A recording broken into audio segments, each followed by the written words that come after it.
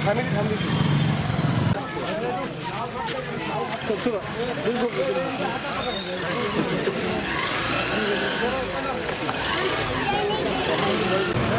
चला चला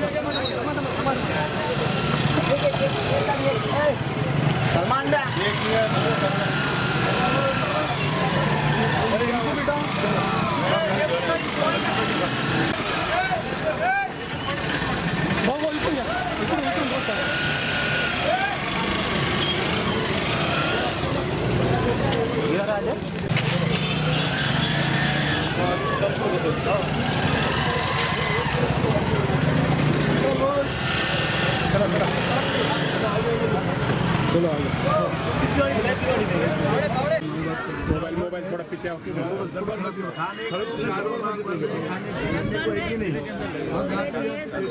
अपने आमदार आहे माजी महापौर आहे.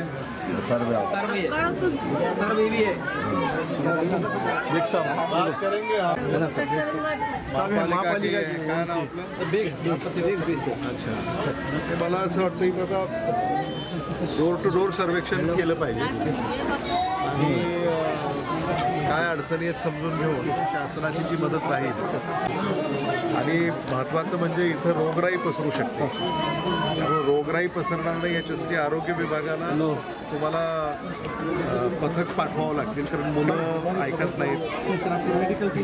नाही नाही नाही. थोडंसं अवेअरनेस पाहिजे. आता कसं आहे की घरं जिथं पाण्याखाली गेलेली आहे तिथल्या नागरिकांना हलवलं पाहिजे.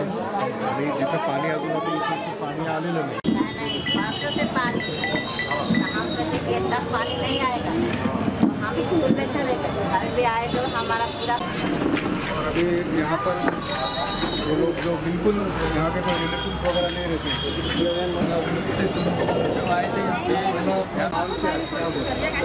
शांत पानी आता है एक दिन करा तो कोई रिश्तेदार रहे अपना साथ कुछ है।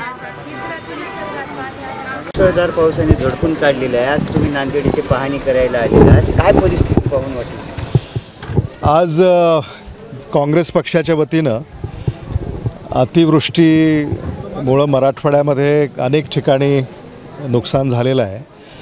आणि नांदेड येथे अधिकच नुकसान झाल्याचं चित्र आपल्याला पाहायला मिळतं. पुराची परिस्थिती आहे. नदी ही पूर्ण भरून वाहते आहे आणि शहराच्या अनेक भागामध्ये पावसाचं पाणी शिरलेलं आहे. नागरिकांचे हाल झालेले आहेत. अनेक नागरिकांना स्थलांतरित करण्यात आलेलं आहे इतर ठिकाणी.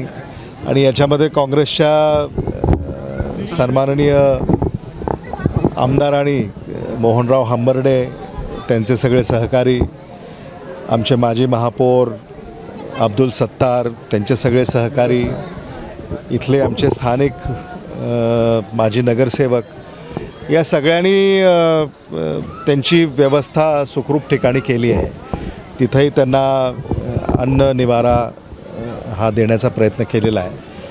आणि शासनाला आम्ही ही विनंती करतो आहे की त्यांनी याचं सर्वेक्षण आता हे जे अतिवृष्टी ग्रस्त किंवा आता पूरग्रस्त याच्यामुळं जे नुकसान नागरिकांचं झालेलं आहे याचं तातडीनं सर्वेक्षण करावं याचे पंचनामे करावेत.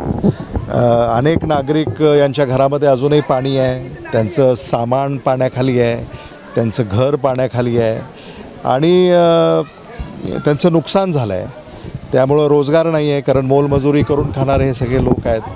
त्यामुळं उपजीविकासुद्धा खंडित झालेली आहे.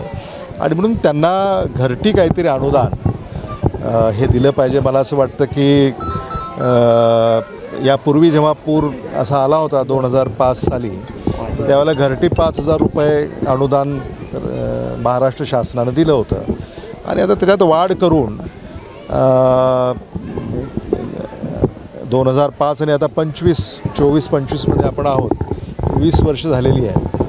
त्यामुळं पंचवीस एक हजार रुपये घरटी महाराष्ट्र शासनानं मदत करावी अशी आमची मागणी आहे.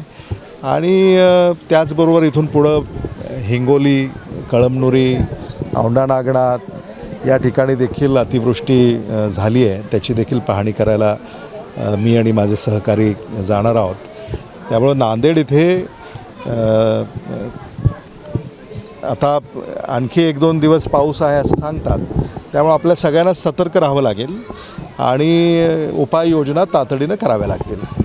ओला दुष्काळ जाहीर करावा अशी परिस्थिती तुम्हाला ही सगळी पाहणी केल्यावर वाटली का?